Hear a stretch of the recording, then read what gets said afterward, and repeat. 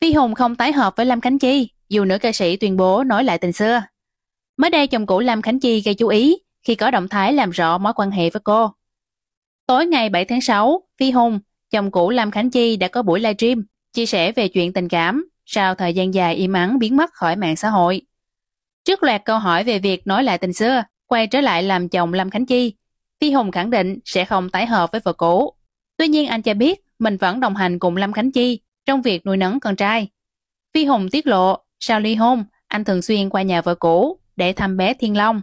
Cụ thể Phi Hùng nói, anh với Khánh Chi bây giờ chỉ là tri kỷ thôi, cùng nhau kiếm tiền và nuôi nấng Bi. Hỗ trợ nhau được gì thì hỗ trợ, bây giờ mãi mãi chỉ là tri kỷ thôi. Anh xin đính chính lại một lần nữa, anh với Chi Chi chỉ là tri kỷ thôi, giúp đỡ nhau trong công việc là chính, giúp hết mức có thể trong khả năng của mình để nuôi nấng cu Bi và cho con cuộc sống không thiếu cha, thiếu mẹ, cùng giúp đỡ nhau trên mọi mặt. Chẳng qua là hai người không hợp nhau và không thể quay lại với nhau nữa. Chia sẻ thêm, Phi Hùng cho biết, thời gian qua anh không muốn nói nhiều về chuyện tình cảm. Tuy nhiên lần này, anh muốn trực tiếp giải đáp thắc mắc của mọi người. Khi được hỏi về khoảng thời gian làm chồng của Lâm Khánh Chi, cũng như cảm xúc khi thấy những bài viết buồn bã, tâm trạng của vợ cũ với mong muốn gương vỡ lại lành. Phi Hùng cho biết đó là chuyện đã qua. Không trách được ai cả, khi mình vượt qua được chuyện đó, mình buông bỏ được rồi, mọi người sẽ thấy thoải mái và nhẹ nhàng. Mình xem đó như chuyện mà ai cũng phải từng trải qua, để tới khi mình nhắc lại thì mình sẽ thấy chuyện đó rất bình thường.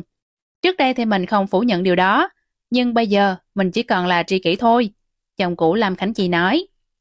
Trong buổi livestream, Phi Hùng phủ nhận mọi tin đồn về việc có bạn gái mới, nên bỏ Lâm Khánh Chi. Anh cũng sẵn sàng lên tiếng bên vực vợ cũ trước những bình luận kiếm nhã của cư dân mạng. Thời gian qua, chuyện tình cảm của Lâm Khánh Chi và Phi Hùng nhận được nhiều sự chú ý của dư luận. Theo đó, Lâm Khánh Chi thông báo chính thức ly hôn với Phi Hùng vào cuối năm 2021, sau 4 năm bên nhau.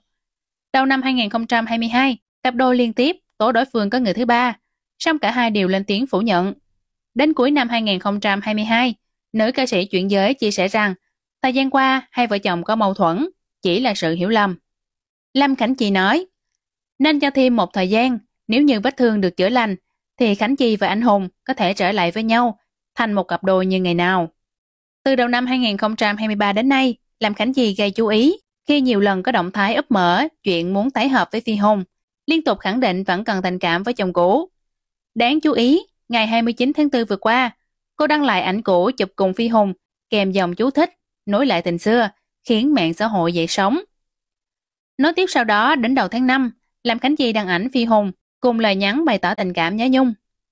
Vì sao em nhớ anh thế này, thương nhớ đông đầy trong lòng mắt. Tấm hình này kỷ niệm ngày đầu tụi em yêu nhau, cách đây 6 năm. Nhìn hình này em không cầm được nước mắt. Giờ đây, khi Phi Hùng lên tiếng làm rõ mối quan hệ hiện tại với vợ cũ Lâm Khánh Chi, rất nhiều bình luận bên dưới đã bày tỏ sự tiếc nuối.